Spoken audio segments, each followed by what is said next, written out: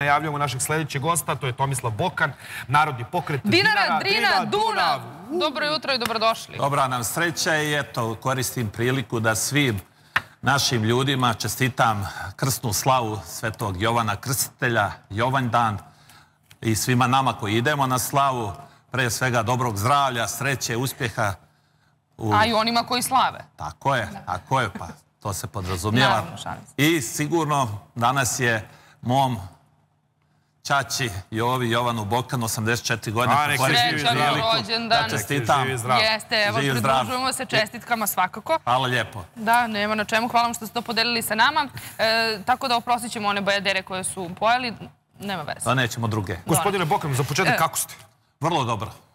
Vrlo dobro, što želim i našim ljudima s obe strane Drine i u regionu i svijetu prosto rečeno da se dobro ne ponesemo zlu, da se ne ponizimo. Jer nije lako danas voditi srpsku državničku politiku, ali naš predsjednik je to pokazao i dokazao u Davosu, gdje je celokupna svjetska elita, pogotovo zapadna, prisutna i da je dao odgovore mnogima.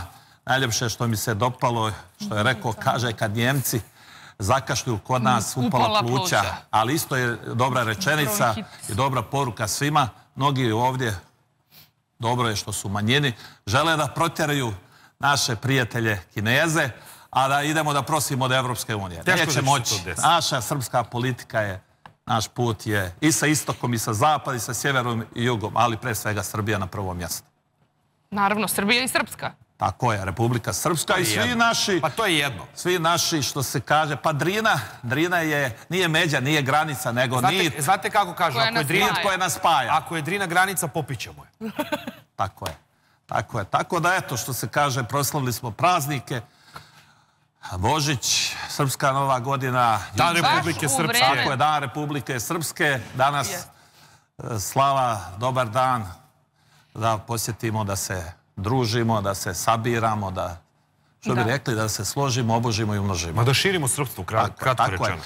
Na pametan i mudar način. Taj 20. vijek je bio vijek stradanja, gdje smo ginuli i stradali za druge, ali 21. vijek je vijek oporavka, e, zdrave pameti, da idemo u korak s vremenom i svijetom, a da čuvamo svoje. Da, E, u svemu što se dešava sa Republikom Srpskom, a naročito sa impresivnom i dostojanstvenom proslavom Dana Republike, teško je moguće pobrojati sve one događaje i sve udare sa zapada i iz drugih delova Bosne i Hercegovine kao same federacije. Od zlokupnog nadletanja dva američka borbena aviona F-16 do drugih detalja sankcija predsjedniku Dodiku i svim Srbima. Samo neupućeni u sva ova događanja zvučalo bi neverovatno kada kažu da upravo oni koji su najveći podržavaoci Dejtonskog sporazuma, a to su Srbi, optužuju za njegov njegovo kršenje? Pa 9. januar je 1992. Dan Republike Srpske, Bosne i Hercegovine, tako se u početku taj naziv bio. Rata još nije ni bilo, prosto rečeno.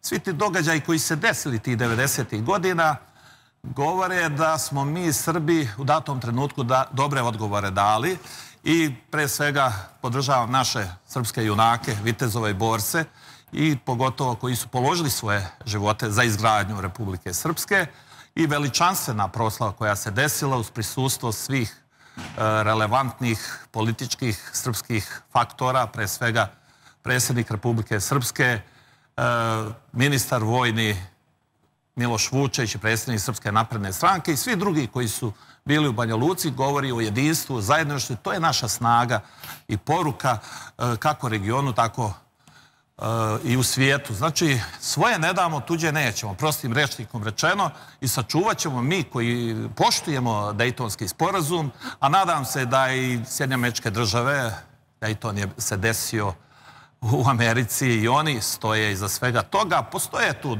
određeni problemi, ali ti problemi treba da se rešavaju u hodu. Mislim da zajedništvo tri naroda bošnjačkog, srpskog i hrvatskog na nivou i ostalih, jeli, na Bosne i Hercegovine, da nije jedan normalan čovjek, bez obzira na vjersku, rasnu, nacionalnu pripadnost, ne želi stradanje, ne želi probleme, jeli, ono što se desilo, ne daj Bože nikome. Ja često kažem, ističem i podlačem, jeste ko želio stradanje, rat, ga ima ga u domu svom, u svojoj kući. Hoću, gospodine Bokan, da, vam, da vas pitam nešto, da uopšte onako e, negde skrenemo pažnju na to. Kad Hrvatska slavi neki svoj dan, niko glasa ne pušta. Kad Bosna slavi svoj dan, Oni slave što su je, proterali jedan je.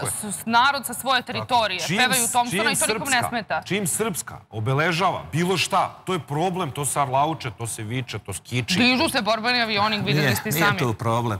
E, to želi neko da stvori da je problem. A ko to Mi želi? čuvamo svoje, pa neke nečiste sile kojima nije drago da Republika Srpska u okviru e, Bosne i Hercegovine postoji.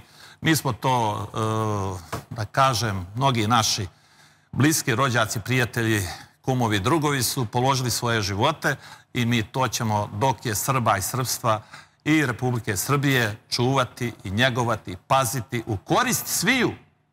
To je poruka mira, sigurnosti, stabilnosti, a to je politika Republike Srbije, vlade Republike Srbije i našeg predsjednika. Pa kad ćemo onda moći da računamo na to da se više neće dizati nikakav negativan glas kada se obeležava nešto u Republici Uvijek će toga biti. To su problemi e, njihovi, ne naši. Mi čuvamo svoje i to je naš put. Da će oni hteti na razne načine, videli ste i sami to suđenje predsjedniku Republike Srpske Miloradu Dodiku i sve to što se dešava, ali Milorad nije baš naivan čovek. E, Vrlo je on uspešan, zna i razume. Ima on to će, ja se nadam da će to biti sve e, dobro na uštrb e, tih koji žele da prave probleme. Mogu ljudi da misle o njemu i ovako i onako, da nema gospodina predsjednika Milorada Dodika sa, ovim, sa ovim stav- stavom Republike Srpske ne bi ni bilo. E, prosto jedinstvo u Prijedoru kad je bilo obilježavanje stradanja srpskog čovjeka kroz Oluju koja se desila 1995. E, Poruka je jasna i glasna. Jedinstvo na prvom mjestu srpskog čovjeka s obe strane Drine i u regionu i svijetu. I ta snaga jeste e, i bit će dok je e, zvanične politike naše u Republici Srbiji i u Republici Srpskoj. To jedinstvo pokazuje se, dokazuje svakog dana da smo mi na dobrome putu i da uvijek želimo saradnju i sa Bošnjacima i sa Hrvatima kad je u pitanju Republika Bosne i Hercegovine. Ono što smo vidjeli na onom defileu je stvarno eh, jedna garda ozbiljna, gdje je i mehanizacija na zavidnom nivou, što je Pris- jasna bio je poruka. prisutan i patrijarh Porfirije. Tako je, apsolutno. To je jedinstvo Srpska pravoslavna crkva, taj naš kišobran koji daje tu snagu kroz molitvu, kroz e, vjeru da se sabiramo i okupljamo i ti svi naši koji su učestvovali u tom svečanosti su pokazali, dokazali, poslali smo e, svijetu i regionu poruku mira, sigurnosti i stabilnosti. E, u, pa i ovih dana uz obavljanje drugih poslova predsjednik je razgovarao i s ruskim e, ambasadorom Aleksandrom Bocanom Harčenkom o pripremama za proslavu 80. godišnjice e, pobede u drugom svetskom ratu. Da li je ovo prilika da primetimo da velike sile zaista kroje mape sveta, pa tako i mapu Balkana, ali je također i prilika da možda potvrdimo da li je istina da uvek to rade posle pobjeda u velikim ratovima ili bezuslovne kapitulacije jedne strane? E, poruka e, državnička i pre svega e, diplomatija predsjednika Republike govori da smo mi sa istokom i zapadom, a čuvamo srpske vitalne interese. Znači, mi imamo prijatelje na istoku, imamo od interesa prijatelje na zapadu i sam posjeta Ruskom domu predsjednik govori o tom st- prijateljstvu e, vjekovnom, istorijskom ruskoga i srpskoga roda i naroda.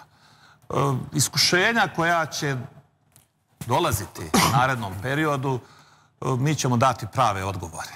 I večeras obraćanje predsjednika i predsjednika vlade, e, pre svega u ekonomskom jačanju naše države, o izgradnji i gradnji putne privrede, infrastrukture, željeznice i tako dalje.